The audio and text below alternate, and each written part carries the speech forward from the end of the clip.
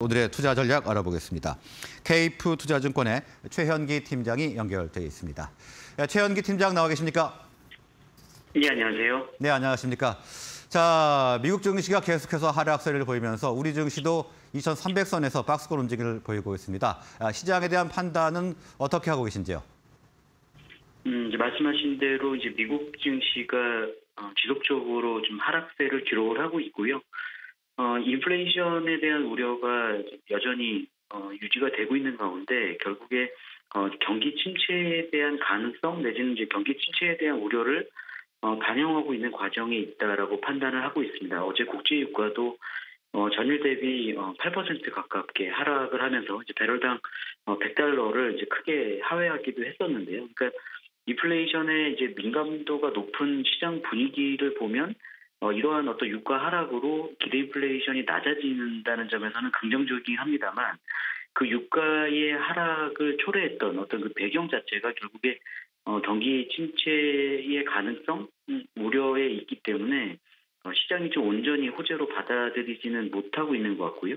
어, 더욱이 이제 오늘 밤에 발표되는 미국의 6월 소비자 물가 상승률이 어, 전월의 8.6%보다 높은 8.8%를 기록할 가능성이 좀 높기 때문에 좀 시장 컨센서스를 상회할 가능성도 지금 배제하기 어렵기 때문에 인플레이션 정점 통과에 대한 기대감도 약화되고 있는 상황 그리고 이러한 물가가 확인될 경우에는 어, 7월 말에 있는 FOMC 회의에서 어, 결국에 어, 최소한 75bp 금리 인상이 이뤄지지 않겠냐라는 어떤 그런 우려까지 겹쳐 있기 때문에 어, 단기적으로 좀 뭐 미국 증시뿐만 아니라 뭐 국내 증시 역시 좀 무거운 흐름이 지속되지 않겠냐고 보고 있습니다.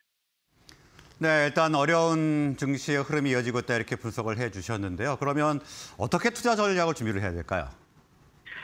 음, 지금 이제 특히나 이제 국내 증시가 이제 미국 증시가 반등하더라도 그 반등세를 따라가지 못하는 이유 중에 하나가 어, 환율에 있다라고 보고 있거든요. 이제 원달러 환율이 어, 전일 이제 1,310원, 장중에는 이제 15원을 넘어서기도 했었고, 어, 좀 고점을 높여 나가고 있는 상황이기 때문에 외국인 자금 유입을 좀 기대하기 어려운 상황이라고 보시면 될 것 같고요.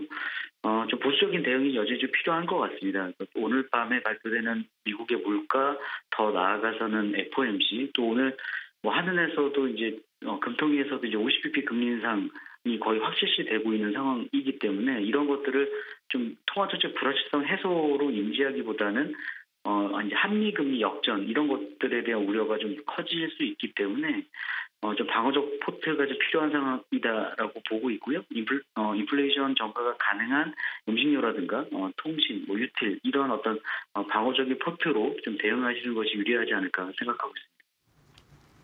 네, 일단 환율이 아, 고점을 높여가고 있는 상황이기 때문에 외국인의 수급을 기대하기 어렵다 이렇게 말씀을 해주시면서 자 오늘 밤으로 예정된 미국의 6월 CPI 지수 확인하는 작업이 필요할 것 같다 이렇게 분석을 해주셨습니다. 자 오늘 말씀은 여기서 마무리하겠습니다. 고맙습니다. 예, 감사합니다.